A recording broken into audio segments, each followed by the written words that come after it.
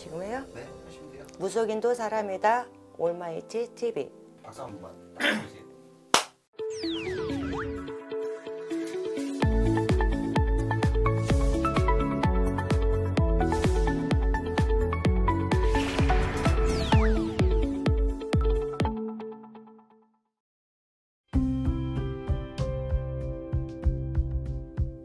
안녕하세요. 저는 전라북도 익산시 거주하고 있는 용화신당 애동 기자입니다.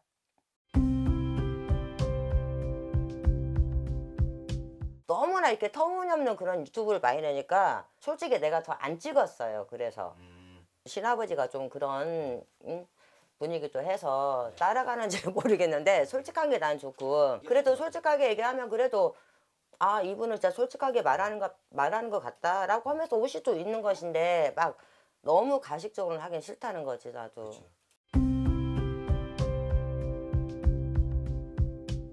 아픈 과거이기도 하고요 예전에 신 선생님 따라서 그분이 또 이쪽에서 거주하고 있기 때문에 이쪽으로 옮기게 됐어요 또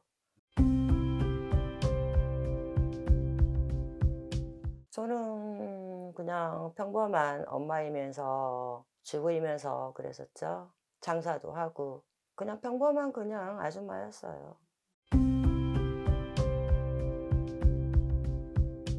뭐 제 3자인 입장들에서는 그러니 하면서 그냥 힘든 길인데 어찌 가려고 하냐 그런 말도 들었었고 저희 가족들이 좀 많이 만류했죠.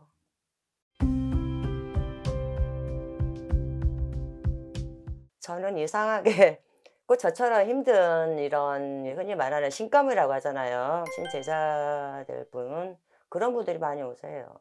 좀 육체적이나 정신적으로 많이 힘든 분이었어요. 정신적인 분열까지 좀 있으신 분이었어요. 그래서 그냥 그분 같은 경우에는 이런 신적인 길로 가는 일보다는 정신적인 그런 성향이 더 커서 그쪽으로 좀 안내를 해드렸어요.